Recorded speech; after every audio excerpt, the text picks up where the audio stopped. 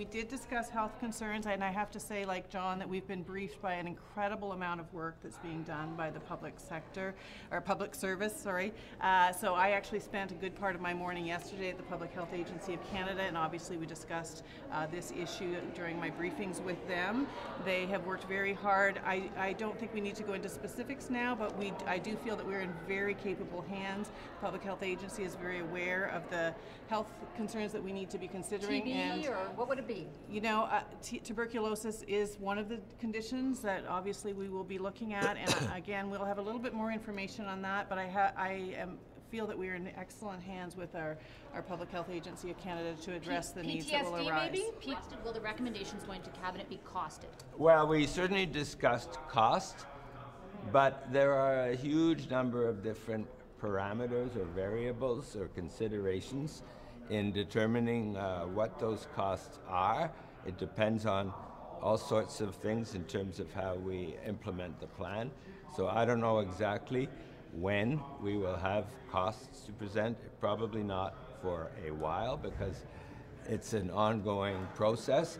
But what I can guarantee to you, absolutely, is that we will not keep Canadians in the dark on what the costs are, and that I can say with 100% certainty.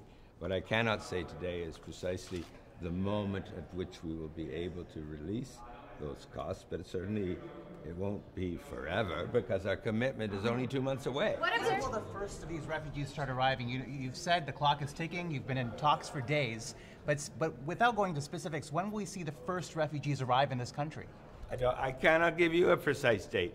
I'm telling you, we're working around the clock. We're working to interview many, many, many people to uh, verify them for security, to a- achieve air transport, but we need export permits from the country. We need to engage the countries concerned.